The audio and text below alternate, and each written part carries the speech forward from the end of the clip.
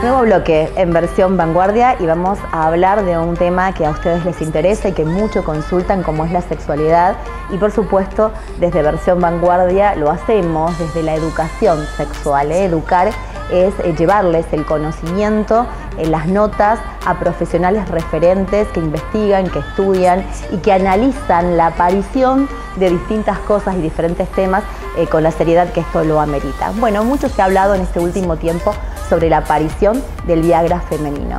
¿Qué tiene que ver con el Viagra masculino? Esto es parecido, ¿qué tiene que ver la mujer cuando disminuye su deseo sexual? Si es algo normal o es algo para medicar. Por supuesto, consultamos a la presidenta de la Asociación Rosarina de Educación Sexual, la psicóloga especialista en sexualidad, Silvana Saboini. Y esto nos decía.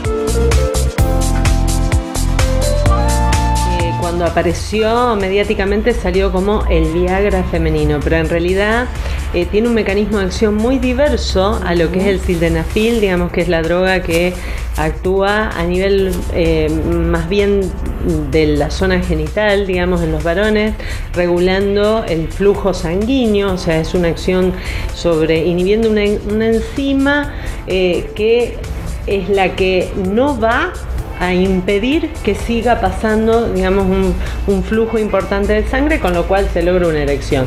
Bueno, eso que ocurre a nivel del Viagra, digamos, masculino, eh, no tiene nada que ver con lo que es el mecanismo de acción de la flibanserina, que es la droga que aprobaron, digamos, en, eh, en agosto de este año para el tratamiento del el deseo sexual hipoactivo en la mujer. Pero Específicamente, si uno ve la monografía del, producto, está destinado o pensado para mujeres eh, premenopáusicas, es decir, para la mujer, pero no en todas las etapas de la vida. Eh, ahora, ¿qué es lo más importante a saber? No se trata, digamos, de una acción hormonal o de una acción local, es una acción sobre el sistema nervioso central. Y eso es importante porque tiene muchas consecuencias. Más allá de que mm, eh, se conocen y ha salido en los medios, digamos, cuáles son todos los efectos secundarios indeseables que potencialmente puede presentar, tenemos que saber que tiene su acción en la más íntimo mecanismo, digamos, de la neuroquímica cerebral inhibe algunos centros para la serotonina y activa o excita otros centros. Vos habrás escuchado hablar de la serotonina. Totalmente, a través de las neurociencias nos explica lo importante que es mantener esto, ¿no? Yo sé que vos en tu staff tenés neurocientistas muy importantes, entonces habrá, eh, tu público estará acostumbrado a, escuchar, digamos, este término. La serotonina o 5-hidroxitriptamina, el nombre técnico, eh, es un neurotransmisor que actúa sobre el estado de ánimo, sobre el sueño, sobre el apetito, sobre el humor, eso es lo más importante. Eh, entonces, dijimos que la flibanserina inhibe algunos centros serotoninérgicos y excita otros receptores serotoninérgicos. ¿Qué quiere decir? Que prácticamente estamos hablando de un psicofármaco, con todo lo que esto implica, digamos, para eh, la administración a una persona que no padece una psicopatología. Claro, porque estamos hablando de eh, en casos de falta de deseo. Eh, y bueno, hay, hay, otras cosas para poder lograrlo, ¿verdad? Exacto. Sin utilizar un psicofármaco, o sí en algunos casos, no sé, eh, vos sos la que lo evalúas. Exactamente. Y ahí viene, mira, esto que decís es muy importante porque cómo entendemos, cómo conceptualizamos el deseo, claro. es una posición hasta casi te diría epistemológica ante la terapéutica farmacológica o no del deseo, la medicalización del deseo. Esto es algo que deseamos hacer. Eh, en terapia sexual insistimos siempre en correr el foco de atención de la genitalidad, eh, de la expectativa de desempeño y todo este esfuerzo que hacemos por correrlo de allí y poder focalizar en cambio en el placer sexual, en el, que la persona esté relajada, en que haya conexión emocional. Todo esto lo estamos abandonando para administrar un psicofármaco que lo que hace es actuar, como decía, sobre la serotonina, liberando o permitiendo que aumente la actividad de la dopamina y haya más ganas de. Pero ganas de en el sentido más amplio del término. Más robótico. Más por hablar. Ganas de, pero no solo, no necesariamente de tener eh, un encuentro sexual. La dopamina eh, si bien es una sustancia del cerebro que aumenta cuando uno está enamorado, también aumenta cuando estamos en un proyecto que nos entusiasma. Eh, digo, y tenemos ganas. Es la droga de la motivación.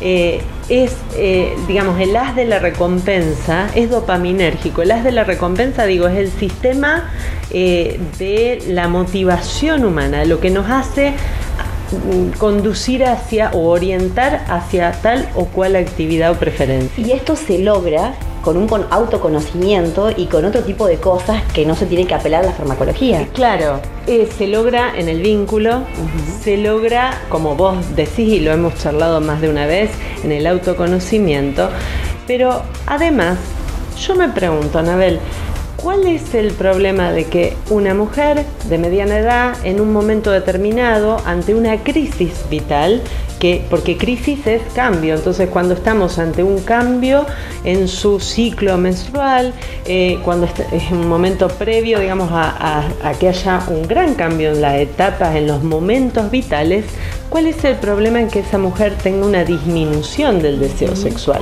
Porque también caemos en una ética de consumo de placer sexual. Es decir, esto de hay que tener deseo y hay que tener este nivel de deseo. Exacto. Digo, ¿por qué? Porque el deseo fluctúa, es decir, la mujer puede, igual que el varón, en distintos momentos tener distintos niveles de deseo, de interés y de eh, ganas de ser susceptible de recibir los estímulos para entrar en excitación. Vos acá, estás relacionando un poco el, poder consumirlo o no, preocuparse eh, de acuerdo a la edad también, ¿no? Que la falta de deseo está relacionada a la edad. ¿Y siempre es así o puede ocurrir falta de deseo en edades más tempranas? No, ocurre a todas las edades. Eh, lo que digo es que esta droga fue pensada para esa etapa de la vida porque puedes, es cierto que, eh, digamos, las fluctuaciones hormonales que se van produciendo en la perimenopausia, eh, porque en menopausia consideramos el momento en el cual se retira, digamos, de la, menstruación, cuando se cumple un año del último periodo menstrual, eh, pero hay en la perimenopausia hablamos de años antes y después de. Entonces, todos esos movimientos neuroendocrinos, por supuesto, que también van a afectar directa o indirectamente el deseo, pero porque también van a afectar el deseo de trabajar, eh, las ganas de hacer actividad física, van a afectar la vida social o no. digamos, depende de cada uno, ¿no? Exacto. Como cada mujer vive, es decir, hay mujeres que atraviesan la menopausia sin que su deseo sexual se vea alterado en absoluto. Hay otras que eh, tienen esta disminución y tienen derecho a tenerla. Hay que respetar el cuerpo, claro, eh, totalmente. ¿Por qué tener que medicalizar el deseo? O sea, nada a ver, insisto, el, el sildenafil, que, o el Viagra, digamos, masculino, actúa sobre, para cuando hay dificultades orgánicas para lograr una erección, actúa en la fase de excitación. Entonces, bienvenido sea para los varones, digamos, que tienen esa organicidad. Ahora, la flibanserina no actúa en la excitación ni para facilitar el orgasmo, actúa, digamos, a nivel del sistema nervioso central eh, y la expectativa es que actúe sobre el deseo sexual. Entonces yo digo, medicalizamos el deseo. Ese es lo que digo que es un cuestionamiento ético que yo como terapeuta sexual mm, no lo veo, ojo, no me quiero anticipar, digamos, a, lo que es, eh, a lo que sean las evidencias en la experiencia clínica. Pero hoy por hoy mi opinión es que prefiero conservar el deseo con toda la complejidad humana que lo caracteriza, ¿no?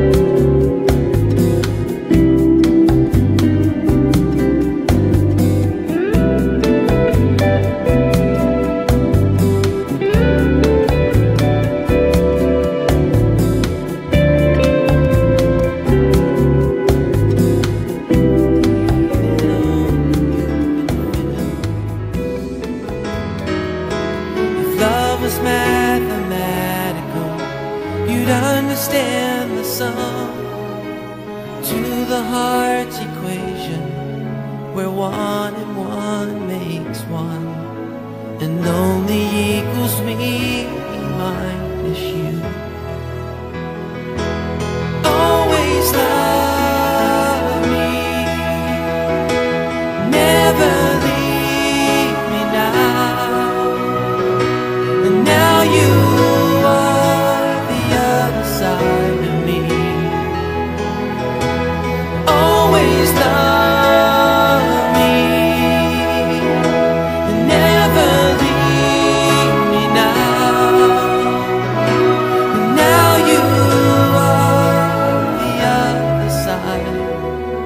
Me.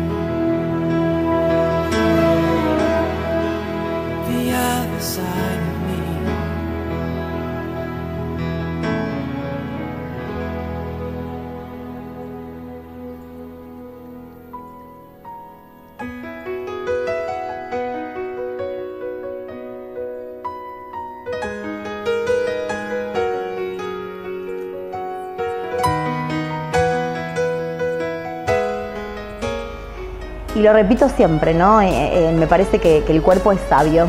Yo le decía a Silvana y creo que cada uno de nosotros tenemos que saber interpretar a nuestro cuerpo y si va modificando o va sintiendo distintas cosas, también respetarlo. ¿eh? Son etapas de la vida y hay que analizarlas y entenderlas. Algunos tienen cambios, otros no. Y somos todos distintos y en esto se basa justamente esta diversidad tan encantadora que tiene la raza humana. Hacemos una pausita, en el próximo bloque vamos a estar mostrándoles las bellezas que se han presentado en este concurso Miss Argentina Santa Fe. Ya volvemos.